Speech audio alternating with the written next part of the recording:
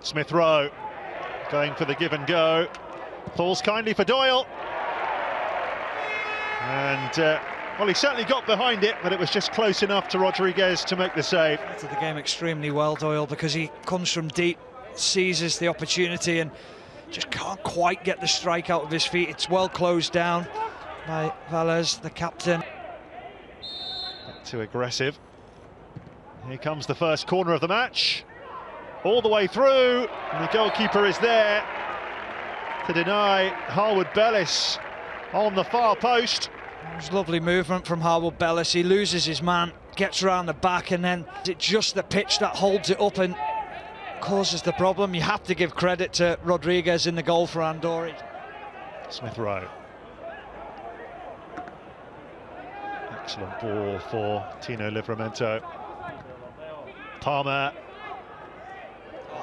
Beautifully done with the top of the studs. Gallagher going through. Palmer. And the eventual shot was from Garner. Didn't quite get his laces behind it, but Rodriguez pushed it away anyway. Well, it's better because it's quicker in and around the penalty area, the speed at which they're moving the ball. They are drawing players in, but this is the lovely little roll of the studs, the nutmeg from Cole Palmer, and that's what injected the, the pace into the attack then. And then this layback from Palmer into Garner. Palmer. Gallagher. Down this right-hand side, Livramento, and then Cole Palmer just nipping inside, but that's the run from Gallagher. It's an excellent run, just in behind. Garner, lovely ball in. Oh, that's the sort of opportunity that Brewster's been waiting for. And he just tickles it wide of the post.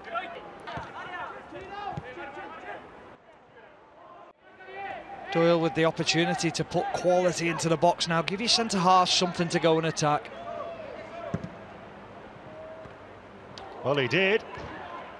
And Guehi's left holding his head because he got there first. Game, they've had two great opportunities within the first 10 minutes of the second half, restarting, uh, starting.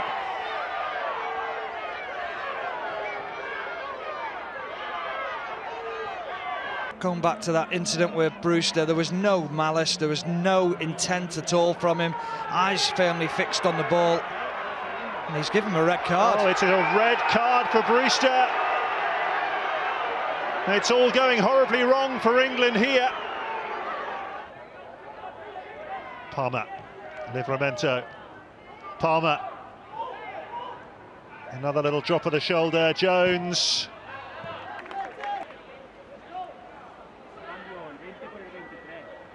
Joan Berlido to take this first corner for the home side. Oh, it just eluded the intended target and suddenly Jones breaking forward with pace and purpose, slipping it through for Smith Rowe, who scores for England. Well, a goal did come from Andorra's first corner, but not for Andorra.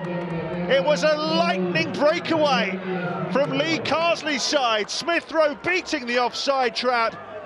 And what a calm, composed finish to give England the lead.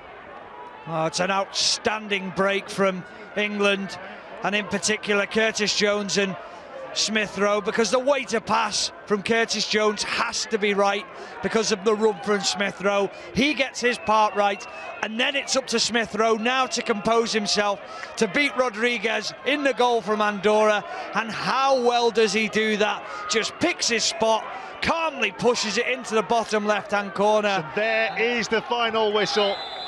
They've got over the line. They've staggered a bit towards the end. But all that matters is that England have got the three points they desperately needed.